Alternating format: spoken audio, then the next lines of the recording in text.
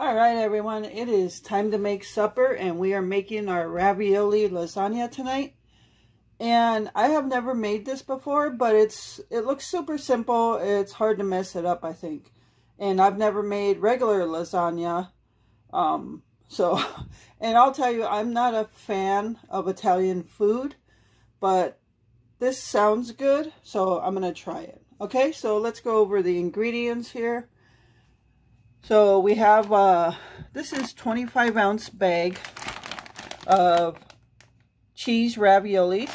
And this is was a frozen bag. So these were frozen. I have them thawed out now.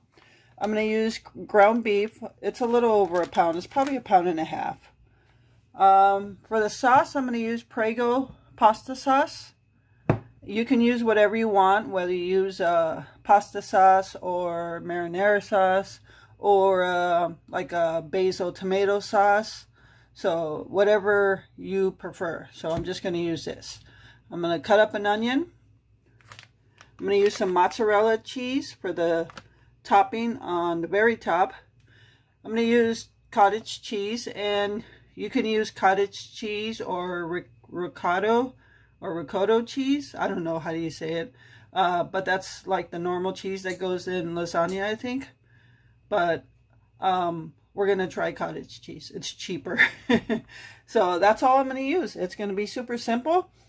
What I'm going to do is cut up the onion. And I think I'll use the food processor. I just have a small one. And I'll chop up the onion. I'm going to cook it with the meat. And when I drain the meat out of, or the, when I drain the grease out of the meat, I'll pour in the Prego sauce and let that simmer for a little bit. And then it's just a matter of layering from there. Okay, so stay tuned and let's get this lasagna going. Alright everyone, so right now I'm cooking my ground beef and my onions. Uh, you can see I cut up my onions pretty small. I put them in the little food processor that we have. And you can chop them up to whatever size you want to. Um, I don't care for onions, but I'll put them in the food as long as they're soft and I don't see them. I, as long as I don't see them, I, I'm okay. so I usually cut them up pretty small, but it still gives it a good flavor. So, okay everyone, so I have now drained the grease out of the ground beef and put the Prego pasta sauce in here. So that's all I did. Um, now I'm going to cover it up and just let it simmer for a little bit and then we'll be ready to layer in the casserole dish. Okay everyone, so the meat is simmered in the Prego sauce, so and it smells good too. Alright, so we're going to start layering now. And if you hear a little noise, that's my little uh, tabletop fan going. It's so warm in the kitchen. Anytime I put the, the oven on, it just gets warm in here. So I like to have my little uh, fan going. Okay, so the first thing we, we're going to do Again, I'm only using an 8x8, depending on your family size or how many people you're serving. You want to determine how much meat you make and, and things like that. So, first thing you want to do is just put a couple spoonfuls at the bottom before you layer it with raviolis. And that's so the ravioli don't stick to the bottom. I probably could have uh, sprayed nonstick, but I'll just put this on there. So, okay, so that's just so the raviolis don't stick. Alright, so now we're to go with our first layer. And these are all thawed out. These are cheese raviolis. You can get meat raviolis. And these are not from the can. These are from the bag again. They were frozen.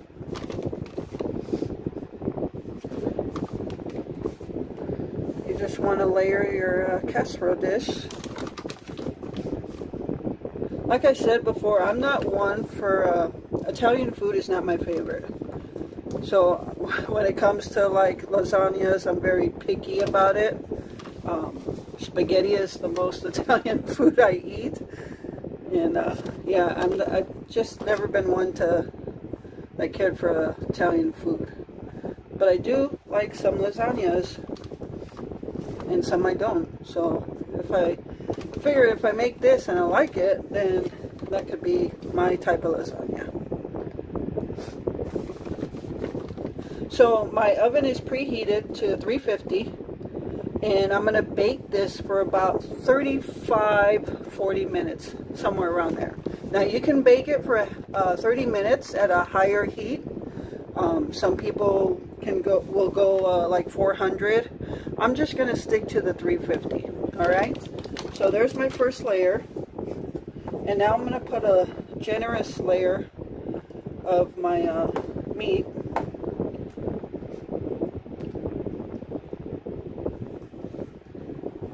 depending on how many, how much meat you got, I guess, how generous you want to be with that. Because as you can see, there's going to be enough for another layer.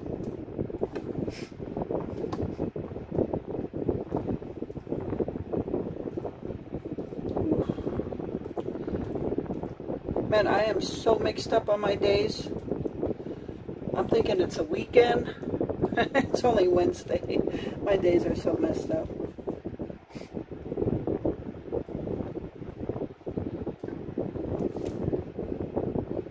I'm sorry.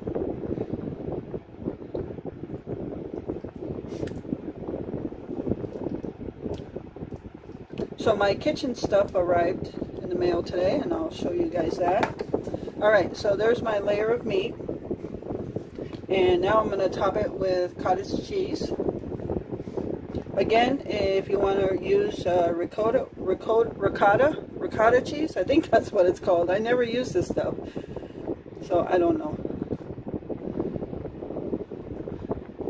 And I'm not quite sure how much of this to put on either.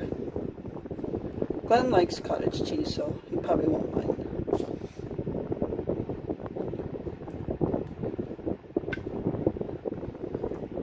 Yeah, when I looked at the price of ricotta cheese versus cottage cheese, I'm like, oh, that's a no-brainer.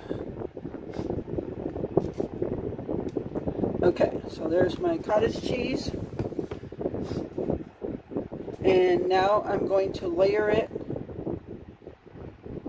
with more raviolis.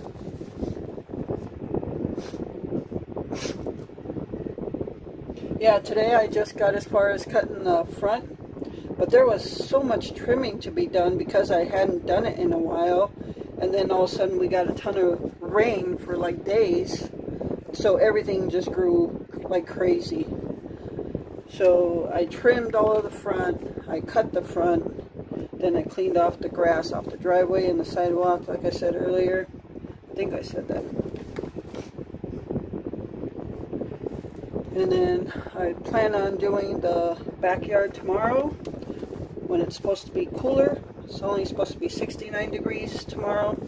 And I'm sure some of you who are uh, panting at heat right now would love to see that 69 degrees or feel that 69 degrees.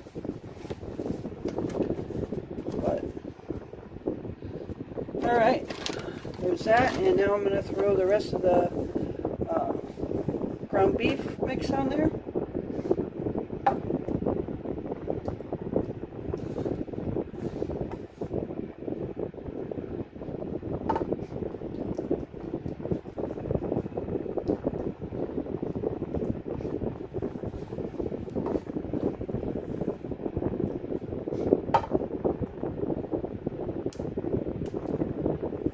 This looks like it's going to taste good.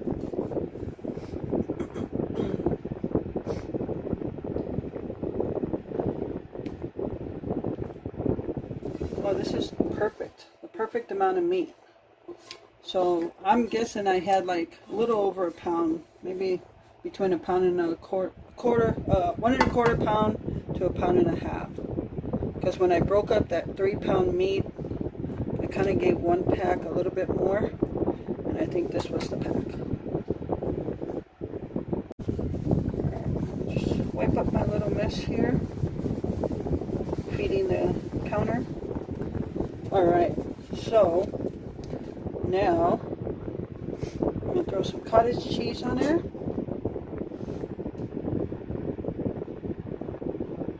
And I can't believe I used to make casseroles in the 9 by 13 dish. The biggest, the bigger one, I think it's a 9 by 13. I used to make casseroles in that when it's just two of us. But we would have leftovers for like three days and honestly we don't like to eat that much leftovers. Like we eat leftovers but we by the third day, no. Probably not not good. Unless it's like chili or beef stew or something. But now I'm freezing a lot more stuff so we'll eat it like two days and then I'll freeze what's left for another day. Alright, I hope this doesn't uh, boil over. Okay, so now I am going to throw the mozzarella on.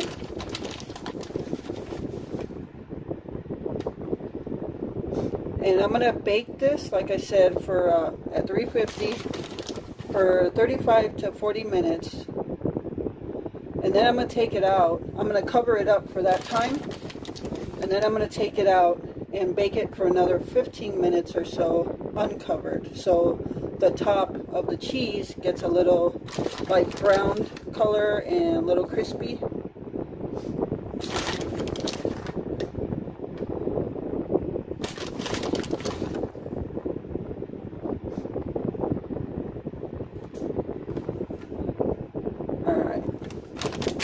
Okay, so I'm going to cover this, get it in the oven, and we'll be back in about 35-40 minutes. Okay, so one thing I forgot to mention, when you cover the lasagna, because you have cheese on top, there's a good chance that the cheese is going to stick to the foil. Unless you have like a non-stick foil. I've never seen it, but I heard there's such a thing. But I'm just going to spray it with the non-stick spray. So hopefully that keeps uh, the cheese from sticking. Okay, so, all right, I'm going to put it in the oven now. All right, everyone, so um, in just a few minutes, the oven's, or the timer is going to go off for me to take the lasagna out, and it'll be 35 minutes, so I'll check it at that. But meanwhile, um, I do want to get some uh, garlic bread in the oven and I'm going to make it out of our rolls. And if you recall, I had that big pack of rolls that I bought on Sunday. So trying to get every use I can out of them right now. So I'm just going to make garlic bread on these rolls. We've done it before and they do taste good. So these rolls have lots of use. You can make pizza on them, garlic bread, sandwiches, Glenn likes all his sandwiches on rolls. I prefer just sandwich bread, but this is good for garlic bread. When you toast it, it gets real, like a real soft crisp. Just throw some butter on there, throw some garlic powder on there, and throw it in the oven. So I'll put them in the oven when I put the lasagna back in without the cover.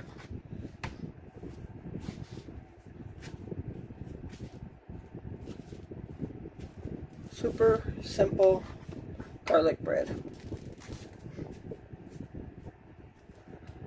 Sometimes we make it out of sandwich bread and like when we have spaghetti, we'll just make it out of regular sandwich bread.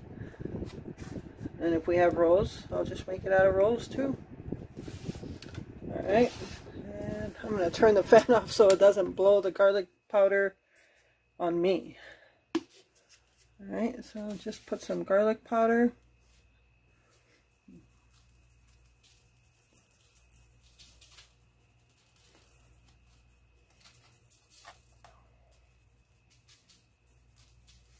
And that's it. I'll throw them in the oven when I put the lasagna back in, and that'll be our garlic bread.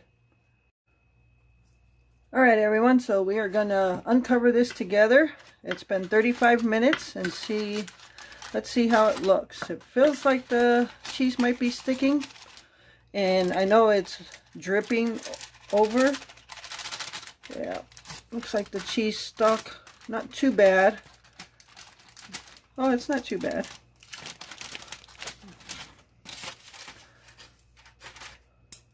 All right, so that's what it looks like. Kind of looks like a mess. Just gonna get a spoon and kind of scrape all this cheese over. because now we're to put it back in without the cover so it can bake the cheese. But it looks good.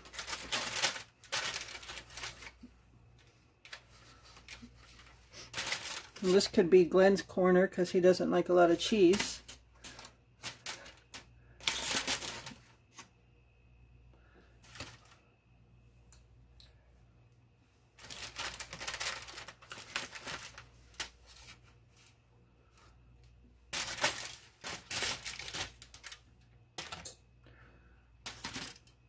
All right, I'm just going to get a piece of paper towel to wipe the edges and we'll get it back in. All right, so I'm going to put this back in the oven now. And I'm also, I put a piece of tin foil in on the rack in the oven so I can put my garlic bread on there. So, yeah, let's get this done so we can eat supper.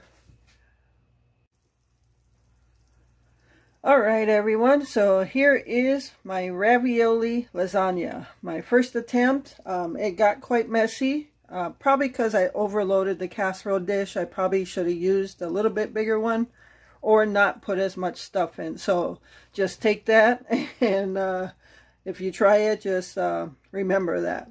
So it started, uh, you can see overflowing the sides. So I ended up putting it on top of a cookie sheet so it doesn't drip all down to the oven. so you can see the cheese where it's browned. So that's good. Um, so the total cook time or the bake time, I would say is an hour. I had it for 35 minutes covered and then 15 minutes uncovered and then I did it for an additional additional 10 minutes. So I would say a total I did 25 minutes uncovered, 35 minutes covered. So, so yeah, there it is. Um, it looks good. Looks, it's messy. It looks uh, a little messy, but it looks good. So I'm going to attempt to cut this and plate this, and I will be right back. Okay, so instead of doing this without uh, taking video of it, I'm just going to do it on video so you can see how it comes out. Um, and that's basically, uh, I'm guessing it might be a little sloppy. I'm going to just cut this in fours.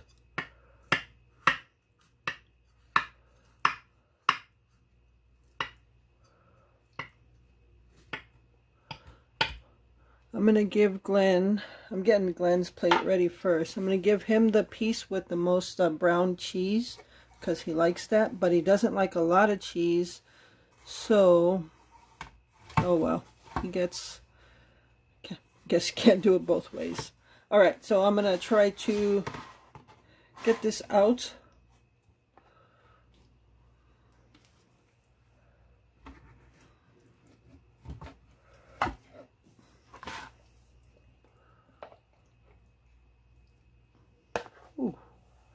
I'm surprised it actually came out like that. And you can see there's still a lot oozing there.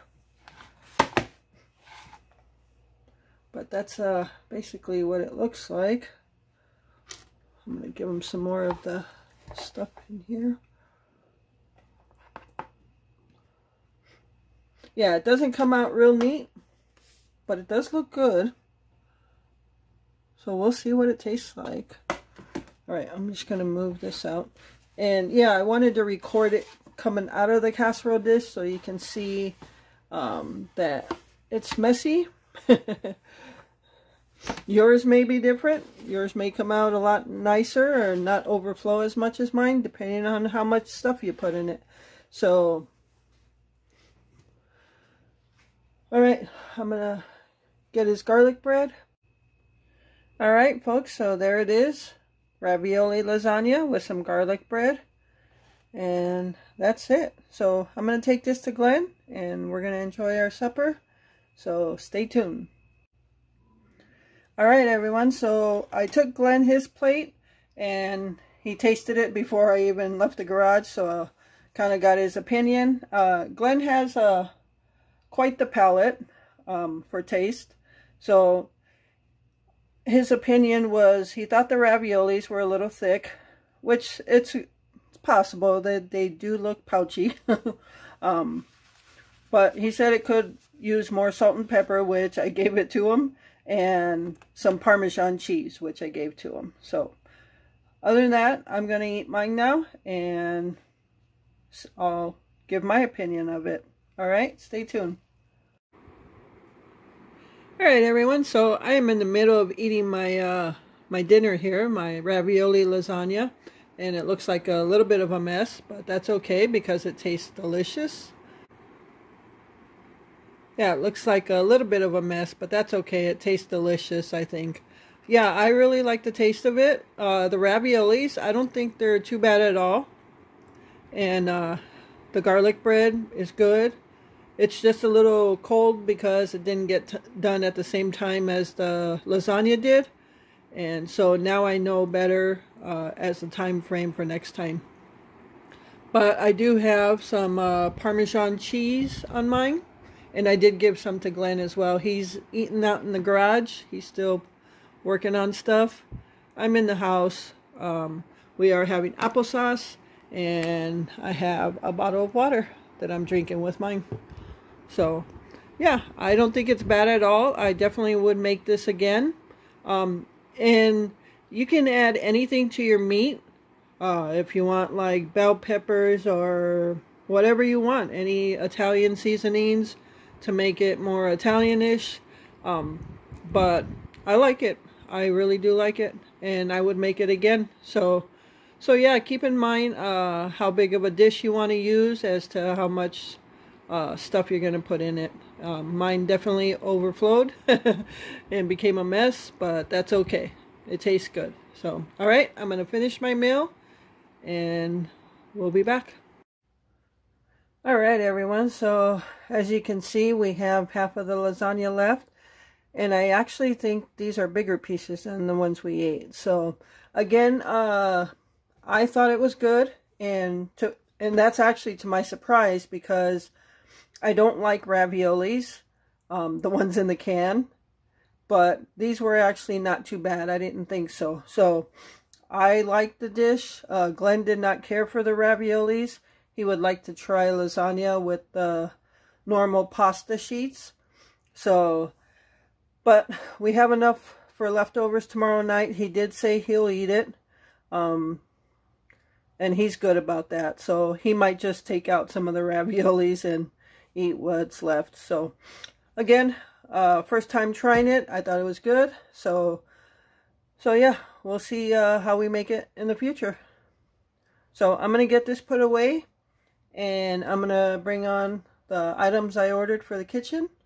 Um, it's no big deal. It's just a couple of things. So, all right, stay tuned. All right, everyone. So I am going to open up the products that I ordered for the kitchen. Um, so this, I'm guessing, is the 8x8 stainless steel dish.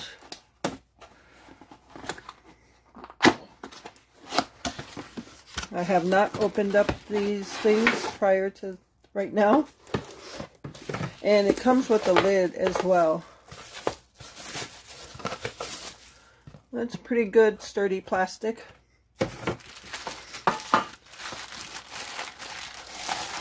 Yeah, 8x8 stainless steel. And again, the reason I wanted this um, is when I grill out and like uh, restaurant steaks or brats or anything, uh, what I usually would put them in is our stainless steel bowl, which is really big. And I just wanted something small for that because I don't grill out a whole bunch of stuff and the bowl is kind of overkill. So, so I just wanted something smaller and this this is like, I think, two inches. And then with the lid on it, it's another, another inch or so. So I think that's going to be perfect. That's exactly what I wanted. So, I mean, you can use it for baking, brownies, cake, whatever. But when I grill out, that's going to be perfect. I can put the lid right on it instead of having to tear off tin foil and putting it on there. So that's great. All right, let me get to the next item. All right, here's the next item. Uh, these are the flexible cutting mats. So basically, um, flexible cutting boards, mats, whatever you want to call them. But there's a set of three, three colors, and they're 12 inches by 15 inches. So let's open these up. I like that they're that big. Oh.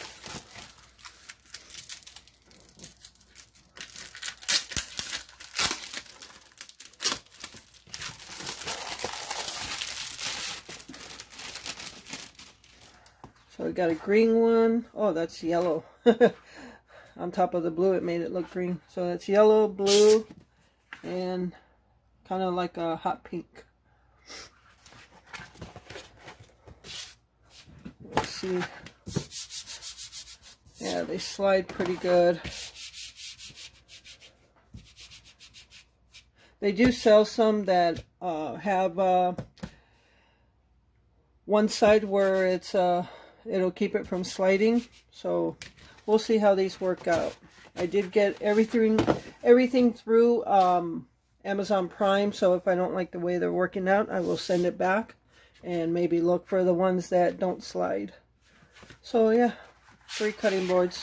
Uh, the cutting boards I have now, I have one blue one, one white one. The white one is from the Dollar Tree, and I've had it for well over a year and but now it's starting to show some wear where the plastic is lifting and catching on to stuff. So I think uh, it served its purpose for a dollar. So time to get new mats. And I want to keep something in the in the camper. So so yeah. Uh, these are supposed to be dishwasher safe.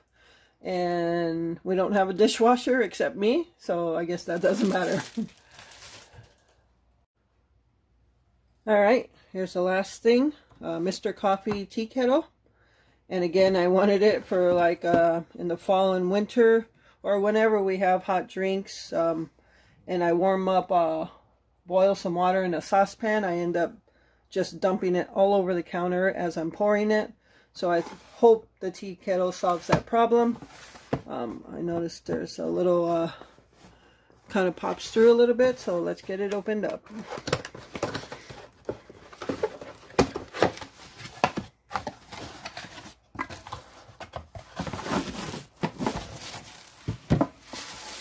Alright, so it is uh, stainless steel and it's got a plastic handle.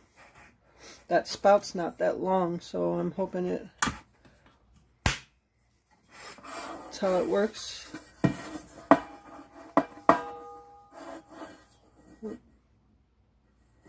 So you just lift that up, pour it.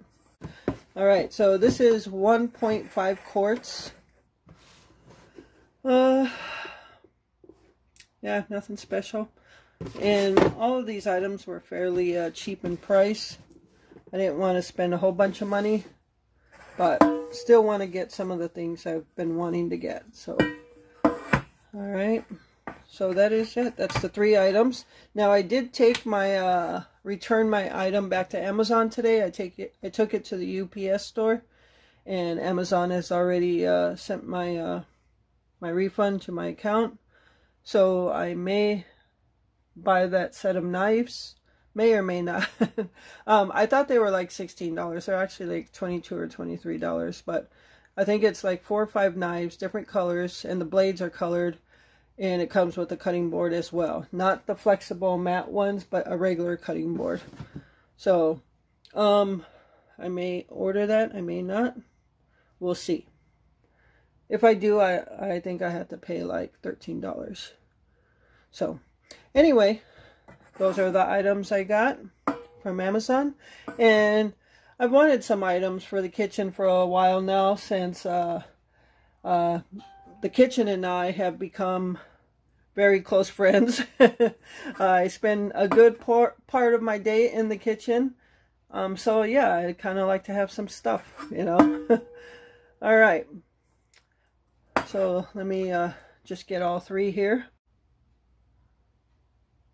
So here are all the items I uh, ordered. 8x8 stainless steel dish, three colored flexible cutting mats, and a stainless steel tea kettle. So I'm going to go ahead and uh, close this video out here. I think it's a good spot to close it out. And it's been a long day, so I'm getting ready to go to bed. And I hope you all enjoyed this video. Thank you so much for taking time out of your day to watch this video. Um, I really enjoyed making this video as well as all my other videos. So thank you so much for your support. So remember to live life, be good to yourself, and be good to others. Until next time.